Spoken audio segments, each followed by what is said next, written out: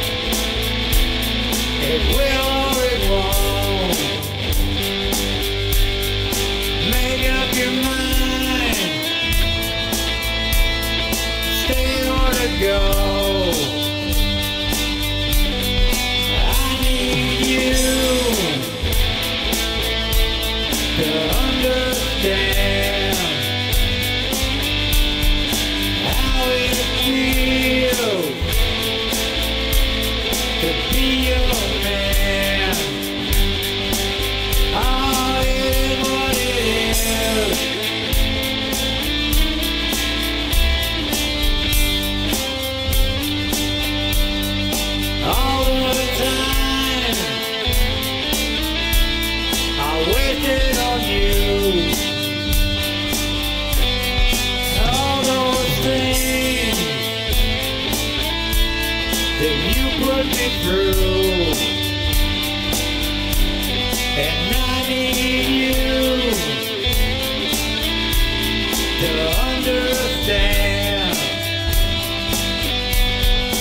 how it feels to be your man. You know.